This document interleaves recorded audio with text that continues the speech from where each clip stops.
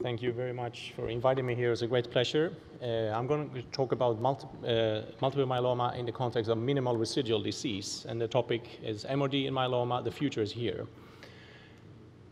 How do I move forward? It doesn't work.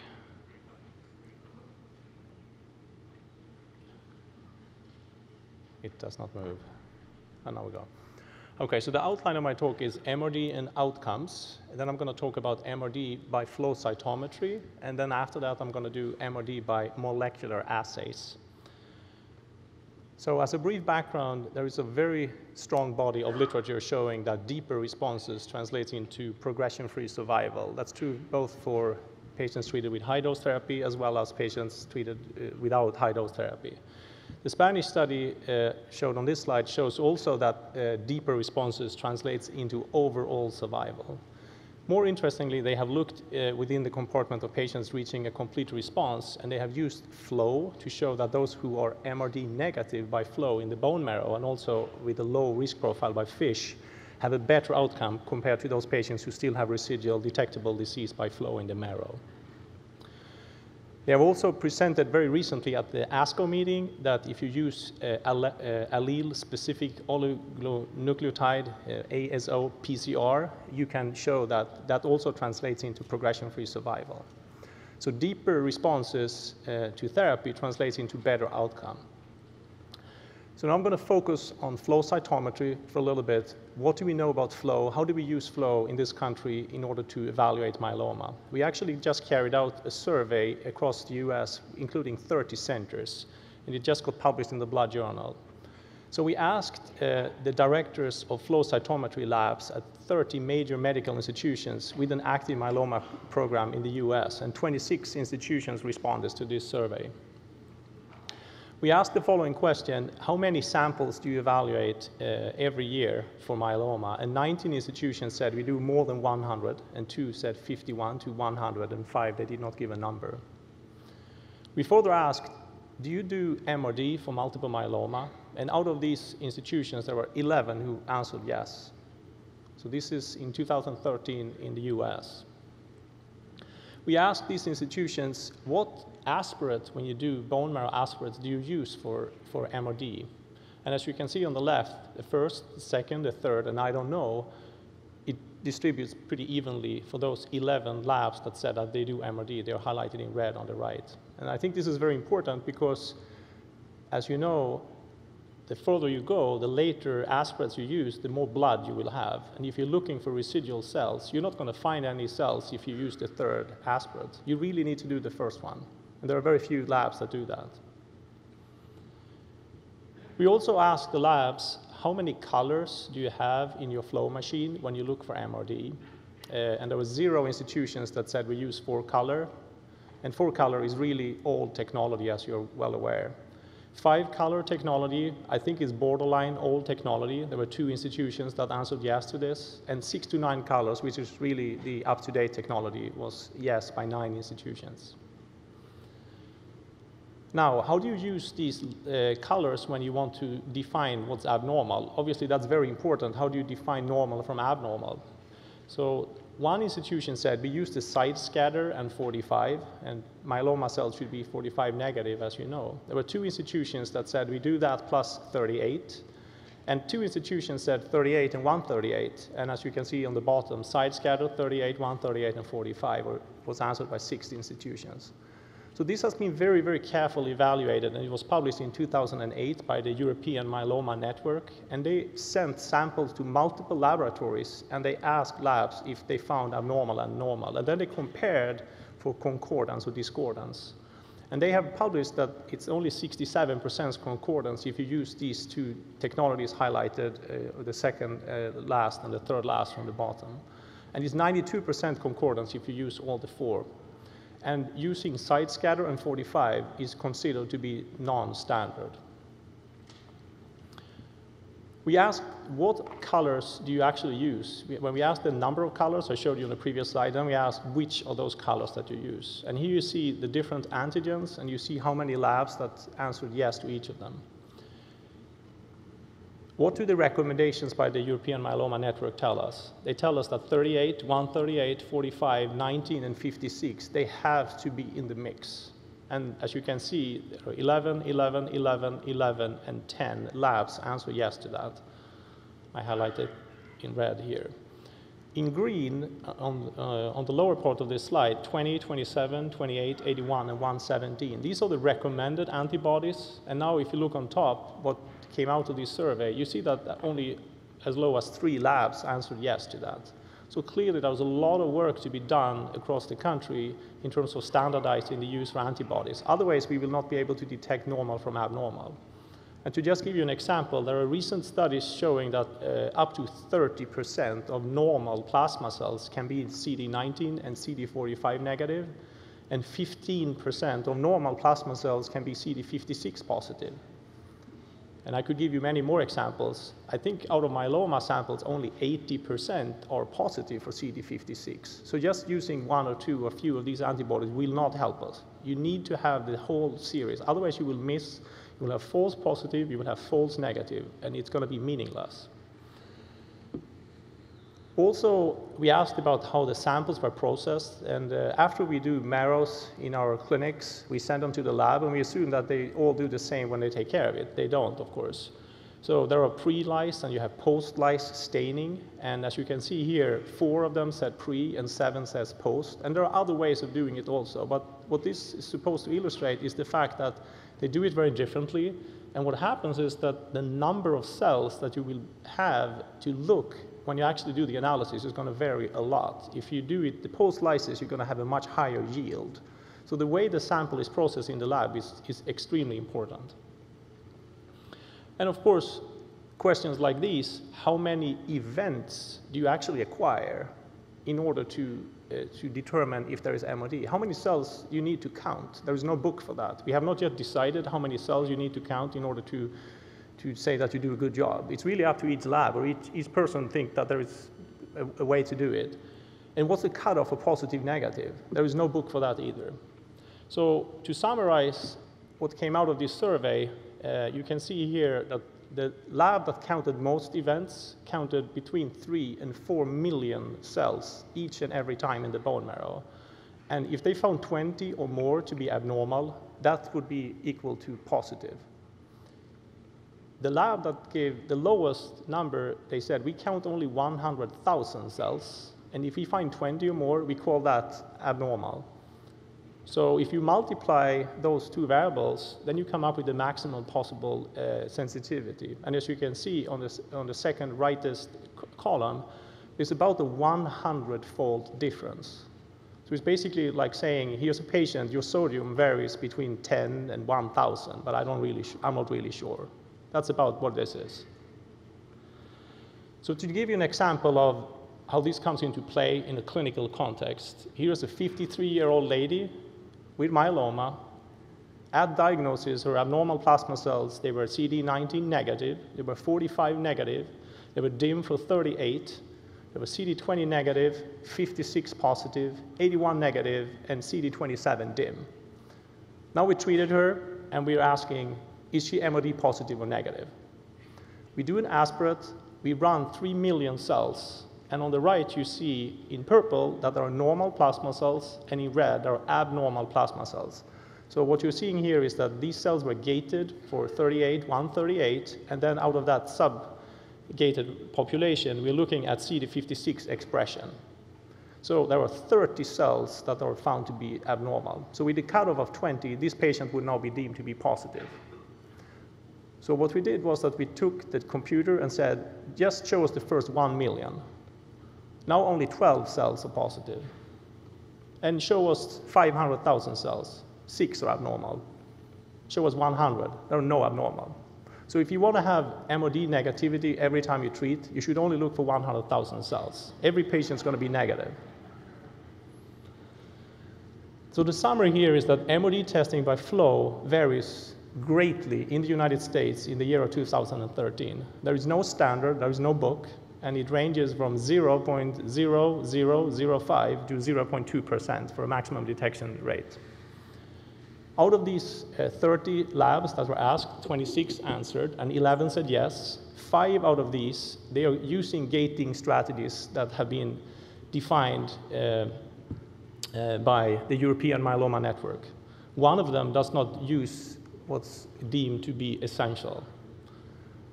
I hope I've convinced you that there is very, very urgent need for consensus guidelines, and there is a process initiated uh, uh, at the NCI. We have uh, set up a, a, workshop with the FDA, and we would like to roll that out across the country because we need it right away. I also want to talk a little bit about molecular assays. I think flow has to come out first, but after we have done that, then we should start thinking about molecular, and I want to just give a few perspectives on that. So there have been a lot of work done uh, for several years. There is not a whole lot of literature.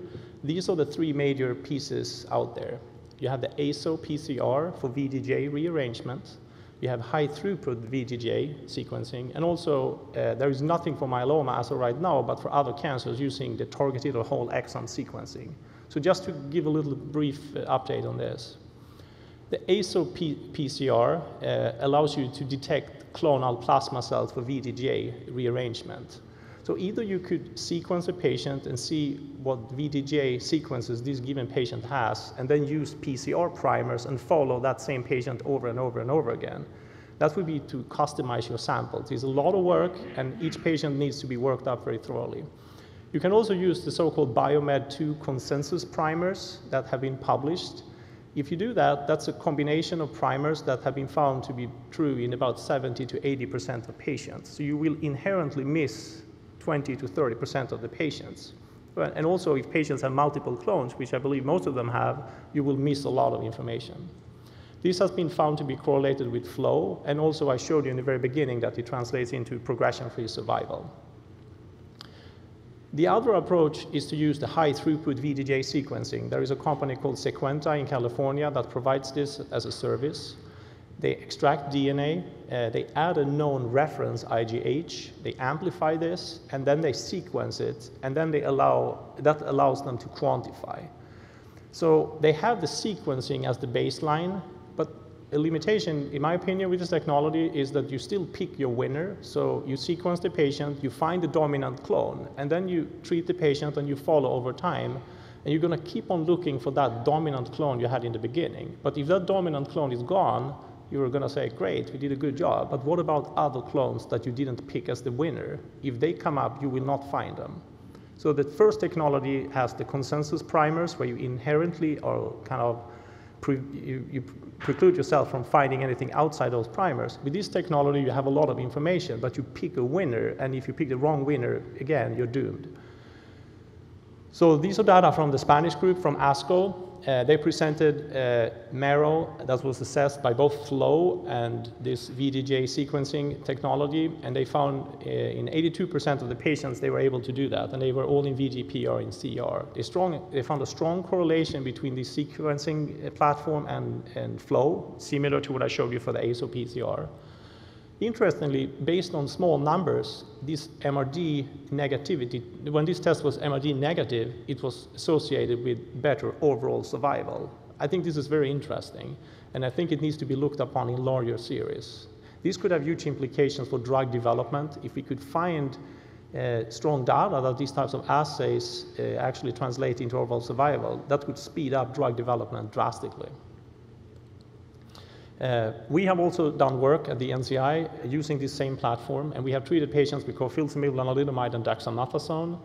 And out of uh, 14 patients, we were able to uh, do this test on the first 13. Uh, what we found is that one patient that was negative by flow uh, was positive in the blood with this technology. And what we did a little bit differently from the Spanish study is that the Spanish study, they looked for tumor cells from the aspirate in the bone marrow. They, they took out the DNA from those tumor cells and did this assay. What we did was that we looked for free circulating DNA in the bloodstream and then used this assay for, as a cell-free, free circulating DNA approach. So one patient was positive uh, taking this uh, free, uh, cell-free assay in the blood, comparing it to the flow in the marrow. But at the same time, I would like to highlight the fact that one patient was positive in the bone marrow by flow, while the technology in the blood was negative. So it goes in both directions. The last method along the lines of molecular assays uh, I want to highlight is uh, whole exome sequencing or targeted sequencing.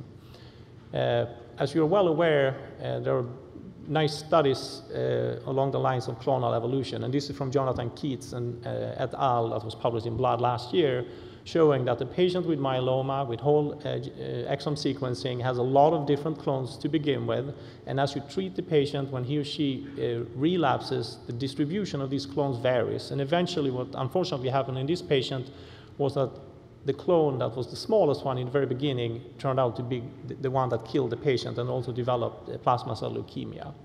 So the reason why I show you this is because if you pick early on the dominant clone, and that's not the clone that's going to be the bad one in the end, you're never going to be able to do anything good out of that. You need to think in a, in a broader context. So one approach could maybe be to do whole genome or targeted uh, exome sequencing. So you could quantify identified mutations using peripheral blood, uh, using, for example, targeted sequencing. This has not been done in myeloma. It has been done in breast cancer and colorectal cancer. So in plain language, what this is, is that you sequence the whole thing. The first two technologies I showed you are focusing on VDJ. This includes everything. And as you can imagine, it's much more complicated. Uh, we just sent five samples off from our research lab to do this, and I think uh, the bill that came back was like $50,000.